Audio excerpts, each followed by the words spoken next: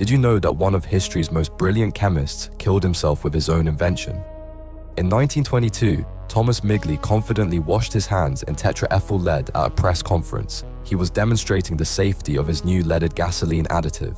The crowd watched as he rubbed the toxic liquid between his fingers, smiling.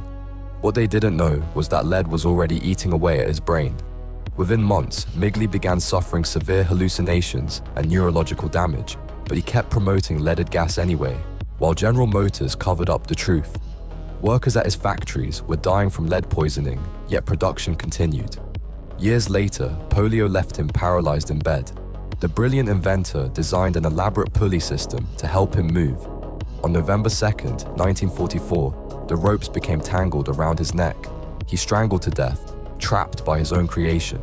His inventions would go on to poison millions through lead exposure and destroy the ozone layer, the man who tried to improve the world accidentally became its greatest environmental destroyer